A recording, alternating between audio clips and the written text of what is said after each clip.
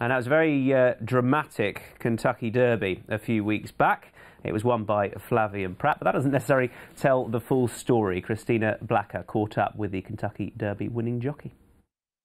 We're here at Santa Anita with jockey Flavien Prat. You're atop the jockey standings here, a banner year having been named the official winner of this year's Kentucky Derby. I want you to take me back, though, just to before that week and that weekend. You had never ridden Country House before. How did you obtain the mount?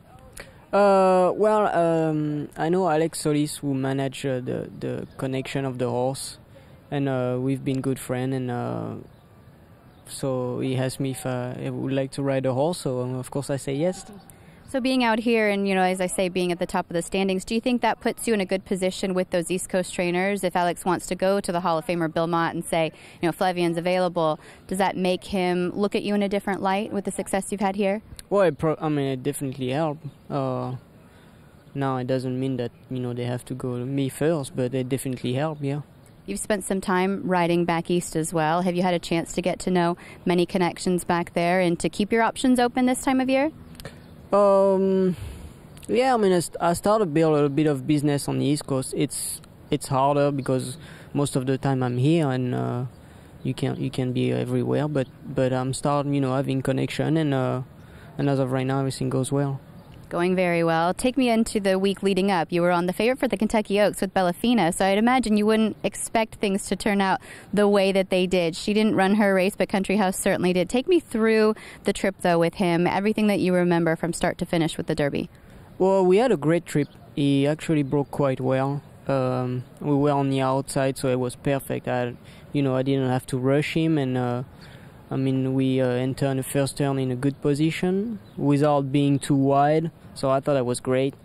Um, I mean, on his races before, he used to be really off the pace, where that that day was actually pretty close and uh, and you know without asking him. So I thought that was a good, good I mean, a great thing.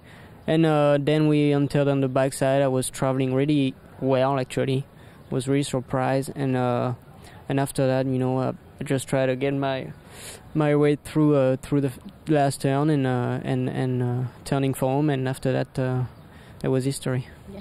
It was history. Maximum Security did come out. He did impede the path of quite a few horses. How significantly did you feel like your horse was affected by what went on? Well, I thought I was affected. Uh, I didn't know how much, so that's why actually I, I claimed foul. I thought, you know, I thought I've been pushed out it's hard at that time of the race. It's hard to tell, you know, if it was a lot or not. And you know, it was a derby, and I I didn't want to get back to the jocks room and regret all my life that you know I didn't do my best. So I thought, you know what, let's uh, let's let's let's look at it, and, uh, and that's what happened. It took the stewards 22 minutes to decide. The longer that they were looking at it, and the longer that you watched the replays, what was going through your mind in that time? Um, well, we were actually happy to run second. Uh, I mean, I think the whole connection would would be happy with the second place. But uh, as you know, the longer it takes, the better it is when you know. Uh, I mean, in my position, so so I thought it was pretty. Uh, I mean, the longer it takes, I was like, "What am, am I gonna take him down?" And well, when they took him down, it was it was a great feeling, you know, relief and. Uh, well, you know, I mean, you feel bad for, for the connection of the maximum security, but you know it's part of races and it is what it is. It is, and they have to you know, adjudicate the races, whether it's the Kentucky Derby or a race on a Thursday, in the same manner each and every day. Did you have any words with Luis Saez afterwards, just to sort of kind of smooth things over? I know there wasn't any hostility, but I imagine it's difficult in his position and also difficult in yours to really soak up the win when he had it taken away. Yeah, it must be difficult. We didn't see each other because uh, after after the race, you get to go to you know press conference and stuff. So we didn't see each other yet, but. Uh, yeah, I mean, I mean it, it must really really hard for him, and uh, you know, I, I, I understand his position. I know you're a perfectionist, so I know is there a part of you that wants to go back out there and win the Derby again and just have it be all yours, no drama, none of this going on? Uh, yeah, for sure. I, I, definitely want to now cross the line first, but uh, yeah, I mean, uh, you know, uh, at the end I'm a Kentucky Derby winner, and we're gonna try to do it again. Talk to me about the second half of the year. We're coming into June. What are your goals as we go through 2019? Well, there's Del Mar. Is, you know, we're gonna go to Del Mar, and now you gotta find a good two years old for the for the end of the year and the, the next year. So you you know you can't you can't slow down. End of the year also has the Breeders' Cup right here at your home track. Does that give you an advantage, do you think? Yes, I think um, I think it's a definitely a, an advantage because you ride horses to run all year long on that track, and you know the track really well. You know, so I think yeah, it is, it is an advantage. You know the track better than anybody. What would you say to any European riders that will be coming over to ride this track for the Breeders' Cup, whether it's their first time or just their first few times being here?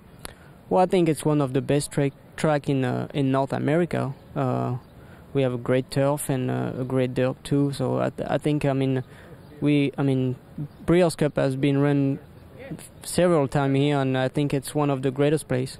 You've ridden all over the world. What makes this home for you now? What makes California feel like home, or does it feel like home?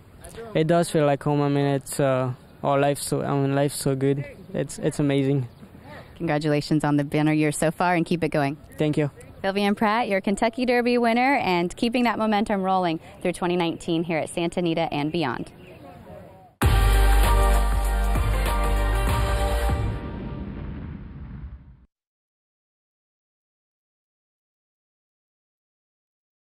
Luck on Sunday, proudly sponsored by Al Basti Equiworld Dubai.